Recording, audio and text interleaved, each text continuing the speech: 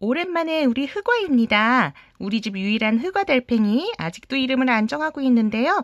어, 여러 구독자님들이 댓글을 달아주셨는데 어, 초핑이라는 이름이 가장 많이 추천이 됐고요. 그래서 초핑이가 있고 그다음에 이제 까밍이라는 이름도 추천을 받았는데 그거 너무 이쁜 것 같아요. 그래서 음, 초핑 아니면 까밍 중에서 지금 고민 중이랍니다.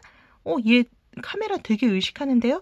방금 전까지만 해도 밥 잘 먹다가 어, 카메라 들이대니까 안 먹기 시작해요. 어, 되게 쑥스러운가 보다. 그러면은 얘 더 먹으라고 이제 카메라를 끄겠습니다.